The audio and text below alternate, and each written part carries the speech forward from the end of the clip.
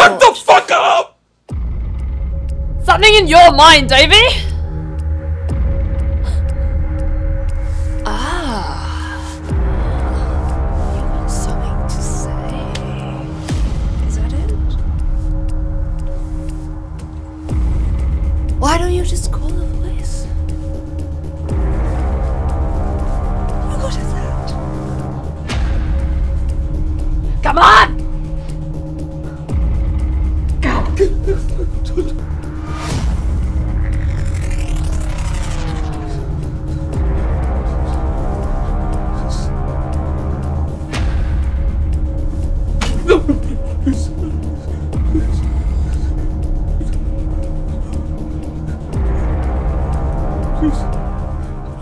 What are you gonna do?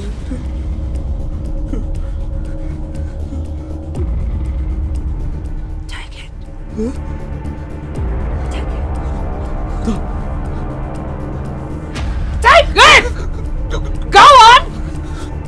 I'm not five anymore! Are you arresting me? We're not arresting you.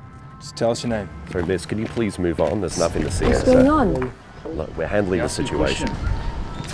He hit his head. We're doing our job. Can you move on? Get off me! Is that your job?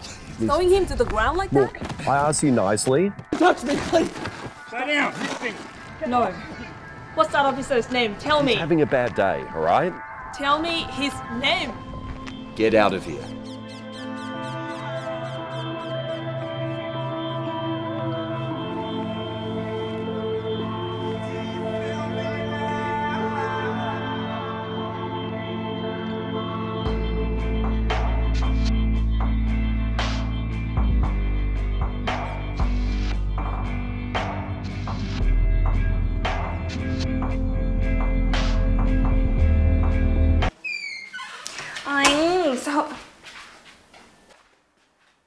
Sao lại là mày?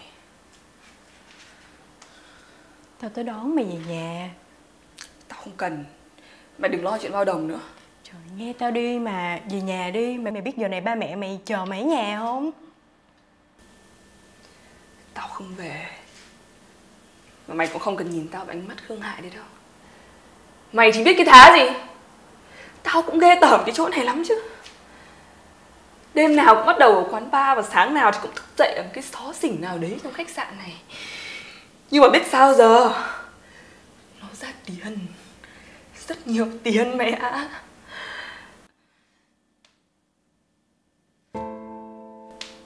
Mày bảo tao về nhà.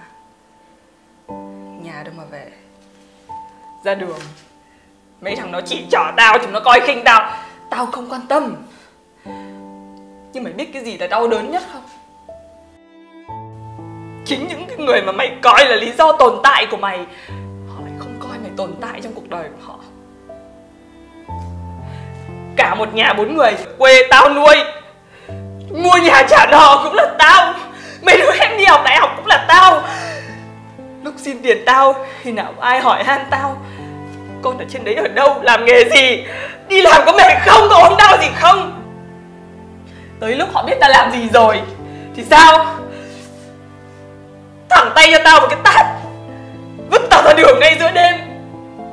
Mẹ tao còn bảo tao, Cầm những đồng tiền của mày, Những đồng tiền bẩn tiểu của mày Làm cho tao nhục nhã lắm Tủi hổ lắm. Sao anh? Giờ mày muốn tao về đó Để mà nhìn những cái ánh mắt kinh bỉ đó mà sống hàng ngày hả? где-то